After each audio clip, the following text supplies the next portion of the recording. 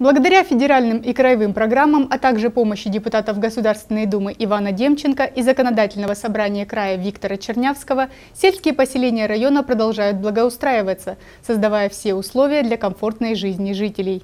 Этот год для прикубанского сельского поселения выдался плодотворным. В хуторе было построено сразу две спортивные площадки. Одна была оборудована по краевой программе «Инициативное бюджетирование». Жители предложили, администрация поселения подготовила документы, а край выделил необходимые средства – более 1 миллиона рублей. Еще около 500 тысяч – это вложение из поселенческого бюджета.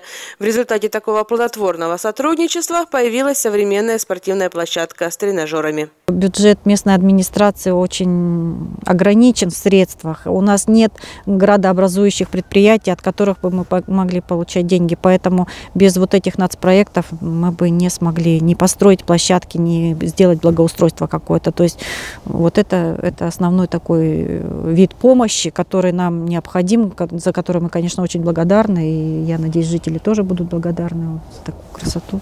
Несмотря на то, что на календаре зима, новая площадка не пустует. И взрослые, а в особенности дети, здесь часто занимаются. Спасибо за такую замечательную площадку. Она получилась очень удобная и красивая. Ежедневно с друзьями мы ходим сюда для того, чтобы позаниматься.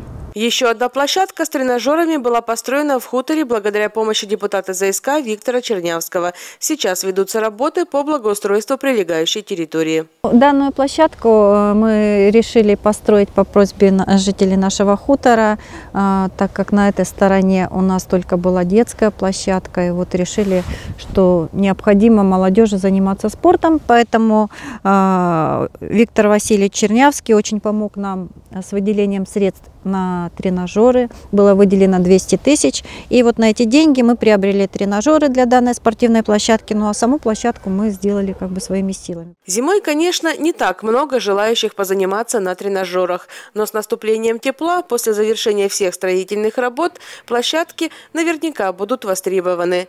Жители Прикубанского, впрочем, как и все славянцы, любят спорт, который становится все доступнее. Анна Монастыренко, Георгий Калинин. Программа